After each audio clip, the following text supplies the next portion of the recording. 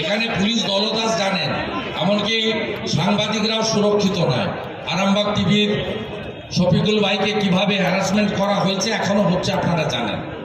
তাই এখানে বালি চুরি এবং এদের দুর্নীতির বিরুদ্ধে যেই আওয়াজ তুলবে, শুধু বিজেপি নয়, সাংবাদিক হলেও তাকে ছাড় দেওয়া হবে না।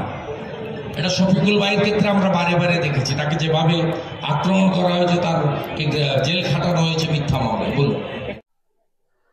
অসংখ্য ধন্যবাদ জানাই শুভেন্দু অধিকারীকে যে আরামবাগে এসে আরামবাগ টিভির কথা আবারও বললেন। প্রিয় দর্শক, আমি শফিকুল ইসলাম এবং আপনারা দেখছেন আরামবাগ টিভি। দর্শক, আজকে আরামবাগে এসেছিলেন শুভেন্দু অধিকারী, কিন্তু আমি আরামবাগে নেই।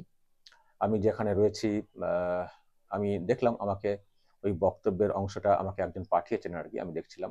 যে শুভেন্দু অধিকারী আবারও বলেছেন। এর আগেও যখন আরামবাগ এসেছিলেন তখনও কিন্তু আরামবাগ টিভির কথা বলেছিলেন। আজকেও বলেছেন, পুলিশি নির্যাতনের কথা বলতে গিয়ে আরামবাগ টিভি এবং আমার নামটা বলেছেন।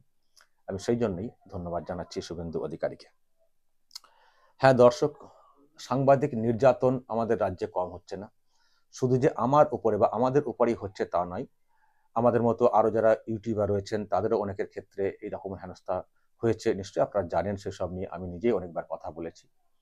এবং মেন স্ট্রিম মিডিয়ার যারা সাংবাদিক, যারা আর কি শাসকের মানে শাসককে তুষ্ট করার মতো খবর করেন না তাদেরকেও শিকার হতে হয়। কখনো শাসক দলের যারা নেতা, তাদের দ্বারা শিকার হতে হয়। কখনো পুলিশ করে, তাদের কোনো স্বার্থে, কখনো বা পুলিশকে দিয়ে করানো হয়। এ তো আপনারা দেখেছেন, কদিন আগে আর বাংলার এক সাংবাদিককেও হেনস্থা করা হয়েছে, সেসব নিয়েও তো আমরা দেখেছি। তো যাই হোক শুভেন্দু অধিকারী সরব হয়েছেন আবারও।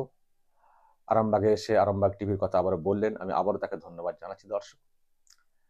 তবে যেমন উনি পাশে থাকছেন, আপনারা যারা রয়েছেন আমার দর্শক, আপনারাও আরামবাগ টিভি এবং যারা আর কি, আমরা যেভাবে কাজ করছি, আমাদের পাশে যারা আপনারা থাকছেন, আপনাদের জন্যই বলতে পারেন যে আমরা কাজ করার সাহস পাই, শক্তি পাই। সেজন্য এত ঝড় ঝাপটা যন্ত্রণা, গঞ্জনা, নির্যাতন মানে এত এত কিছু হওয়া সত্ত্বেও আমরা কিন্তু কাজ এগিয়ে মানে কাজ করে চলেছি, আমরা থেমে নেই। যাই হোক দর্শক, এটা হচ্ছে আমার কথা, শুভেন্দু অধিকারী যেহেতু বলেছেন সেই জন্য কতগুলো কথা আমি বললাম। এবার আমি দর্শক যে কথাটা বলতে চাই, আমি দূর থেকে যেটা দেখলাম, আমি একটু জানতে চাইলাম যে আজকে কেমন ভিড় হয়েছিল আরামবাগে। তো দর্শক আগে দেখুন ভিড়টা কেমন হয়েছিল।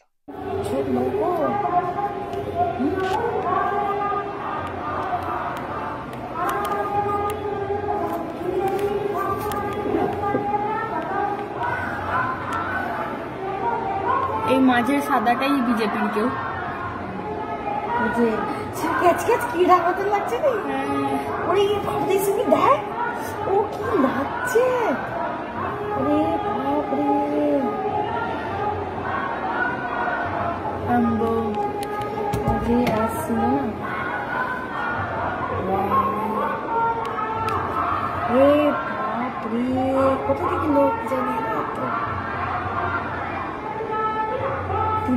তো দেখে নি।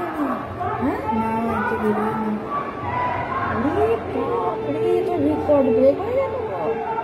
দেখলেন দর্শক, এই হচ্ছে ভিড়। এ তো একেবারে জনসমুদ্র। দেখুন, আরামবাগ কিন্তু এমনিতেই বিজেপির দখলে। আরামবাগ মহকুমার মধ্যে যে চারটে বিধানসভা রয়েছে, আরামবাগ, গোঘাট পুরসুরা এবং খানাকুল, চারটেই কিন্তু বিজেপির দখলে, চারটে বিধানসভায়। ফলে এখানে বিজেপির একটা শক্ত ভিত রয়েছে সেটা বলার কিন্তু কোনো অপেক্ষা রাখে না। কিন্তু যখন শাসক বলছে যে, এখন আর কেউ বিজেপি নেই, সব তৃণমূল সব তৃণমূল। এবং বিজেপির মধ্যে একটা গন্ডগোল যেটা সামনে এসছে এবং কিছু কিছু বিষয় নিয়েও একটা প্রশ্ন তৈরি হয়েছে, আপনারা জানেন বিজেপি দলটা নিয়ে, দলটাকে নিয়ে। কিন্তু তারপরেও দেখুন ভিড়টা কেমন। এবার দর্শক, এখানে হয়তো একটা প্রশ্ন উঠবে যে, এটা কি বিজেপি দলের জন্য এই ভিড়টা হচ্ছে? নাকি আমি কদিন ধরে যে কথাটা বলছি যে শুভেন্দু অধিকারীর জন্য ভিড়টা হচ্ছে? শুভেন্দু অধিকারীর একটা ব্যক্তিগত একটা ক্রেজ যেদিকে শুভেন্দু, সেদিকে আমরা। এখন শুভেন্দু বিজেপিতে, চলো আমরা বিজেপি পতাকা নিয়ে যাই। শুভেন্দু যদি দল ছেড়ে অন্য কিছু ভাবেন, যদি তিনি ভাবেন যে বিজেপিকে মানে বিজেপিতে থেকে এখানে পরিবর্তন ঘটানো যাবে না, তাহলে যদি তিনি নতুন কোনো দল তৈরি করেন তাহলে কি সেখানেও, তারা যাবেন? দর্শক এইসব নিয়ে প্রশ্ন আছে, প্রশ্ন করতে পারে, প্রশ্ন তৈরি হতে পারে। তবে যা বুঝতে পারছি, আমি কদিন ধরেই বলছি, যা দেখছি, যে বিজেপি দলটাকে নিয়ে এই বাংলাতে প্রশ্ন থাকলেও শুভেন্দুর ডাকে কিন্তু এক। শুভেন্দুর ডাক যেখানে, সেখানে সবাই ঐক্যবদ্ধ হয়ে দলের পতাকা নিয়ে তারা কিন্তু চলে যাচ্ছেন যোগ দিতে। তার মানে ব্যক্তি শুভেন্দুর একটা ক্রেজ ব্যক্তি শুভেন্দুর একটা গ্রহণযোগ্যতা, ব্যক্তি শুভেন্দুর উপরে একটা ভরসা, সেটা কিন্তু আমরা দেখতে পাচ্ছি। যে দল নিয়ে প্রশ্ন থাকতে পারে, কিন্তু শুভেন্দুর প্রশ্নে মানে শুভেন্দুর বিষয়ে সব এক। এই নয় যে দল নিয়ে প্রশ্ন রয়েছে, চলো সবাই তৃণমূলের দিকে চলে যায় না, আমি বারবার বলছি, যে বিজেপির মধ্যে একটা অগোছালো ভাব আমরা দেখছি। জানি না এটা আবার কেটে যাবে কিনা, তবে লোকসভা ভোট যেহেতু সামনে আসছে, বিজেপি মানে বিজেপির যে শীর্ষ নেতৃত্ব নিশ্চয় তারাও কিছু ভাববে যে বাংলাতে যা চলছে। যদি এখান থেকে ভালো রেজাল্ট করতে হয়, তাহলে একটু ভালো করে উদ্যোগ নিতে হবে, সংগঠন সাজাতে হবে, যেসব ভুল বোঝাবুঝি চলছে সেগুলোকে দূর করতে হবে, যে দ্বন্দ্ব চলছে সেগুলোকে মেটাতে হবে।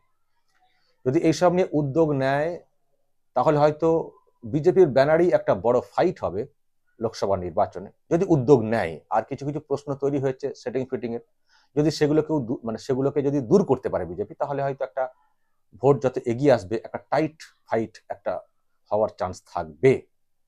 কিন্তু যদি সেটাও না হয়, তার মানে এই নয় যে তৃণমূল কংগ্রেসের একেবারে খোলা রাস্তা। হতে পারে সেটা লোকসভা ভোট পর্যন্ত।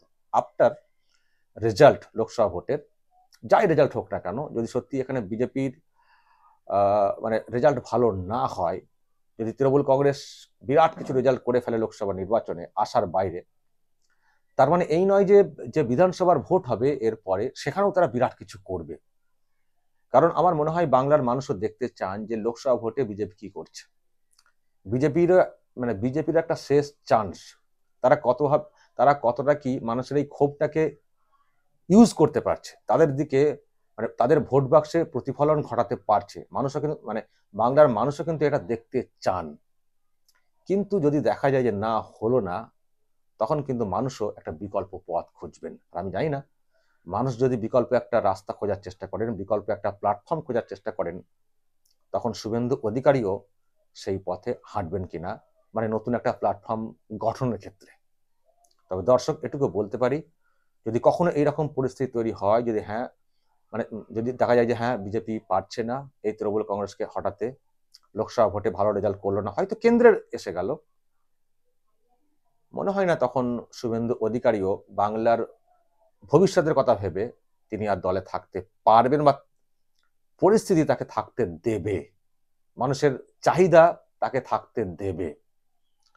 তবে যদি তিনি সরে যান, যদি সত্যি তিনি আলাদা কোনো প্ল্যাটফর্ম তৈরি করেন তার দিকে যে একটা জনজোয়ার ছুটে যাবে, তার শক্তি বৃদ্ধির জন্য, তার দিকে, তার হয়ে যে মানুষ ঝাঁপ- মানুষ যে ঝাঁপাবেন এটা কিন্তু বলার কোনো অপেক্ষা রাখে না। ফলে বিজেপির যদি খারাপ রেজাল্ট হয়, শুভেন্দুর যে ভিত বা শুভেন্দুর যে ক্রেজ শুভেন্দুর প্রতি যে ভরসা, সেটা যে অটুট থাকবে, এটা কিন্তু বলার কোনো অপেক্ষা রাখে না। কারণ যা দেখছি, এত কিছু গন্ডগোল এত কিছু প্রশ্ন কিন্তু তারপরেও শুভেন্দু যেদিকে, সেদিকেই জনস্রোত।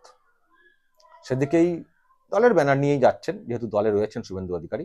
মানে শুভেন্দু কেন্দ্রিক যেন বিষয়টা হয়ে উঠছে, ফলে যারা ভাবছেন যে বিজেপি পারবে না, তাহলে আর কি হবে? তৃণমূল কংগ্রেসকে তাহলে তার কেউ হারাতে পারবেন না বা পারবে না। যারা এটা ভাবছেন, ভুল ভাবছেন। কারণ বিকল্প কিন্তু তৈরি হয়ে যাবে। মানুষ কিন্তু বেশি দিন অপেক্ষা করেন না।